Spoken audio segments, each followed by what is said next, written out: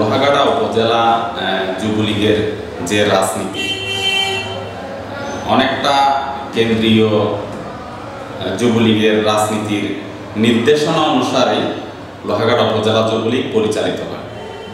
সেক্ষেত্রে কেন্দ্রীয় যুবলীগের নির্দেশনা মতে মোটামুটি ভালোই আছে আমার রাজনীতির উদ্দেশ্য হচ্ছে আমি বঙ্গবন্ধুর আদর্শ নিয়ে রাজনীতি করি এবং সেই আদর্শ বুকে ধারণ করে।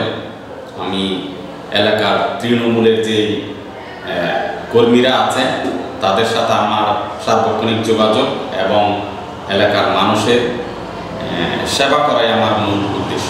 আমি আসলে সত্য বলতে গেলে দলের পক্ষ থেকে অনেক অনেক মূল্যায়িত হয়েছি যে দল দল করে, যথেষ্ট পরিমাণে আমাকে সাপোর্ট এবং আমাকে অনেকটা সহযোগিতা দল করেছেন বিভিন্ন বিষয়ে। এক্ষেত্রে আমি লোহাগাড়া উপজেলা যুবলীগ এবং কেন্দ্রীয় যুবলীগের নেতৃবৃন্দকে সাধুবাদ জানাচ্ছি। আসলে রাজনীতির থেকে আমি ব্যক্তিগত কোনো আমার আশা, প্রত্যাশা নেই।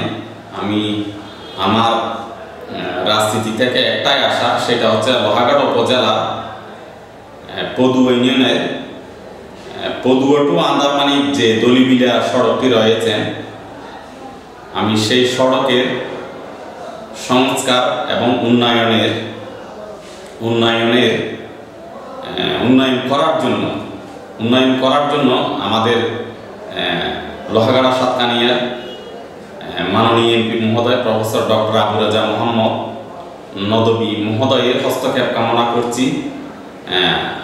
তার মাধ্যমেই আমরা পদুয়া টু আন্দারমানি দলিবিলা সড়কটি অবশ্যই এইটা রাজনীতিকভাবে আমরা আশা করি।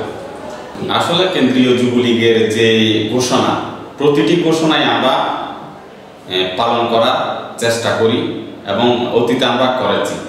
আমরা মাদক এবং সন্ত্রাসের বিরুদ্ধে যে জিরো টলারেন্স আমাদের চেয়ারম্যান মহোদয় ঘোষণা করেছেন, আমরা সেটা বাস্তবায়নের লক্ষ্যে কাজ করে যাব।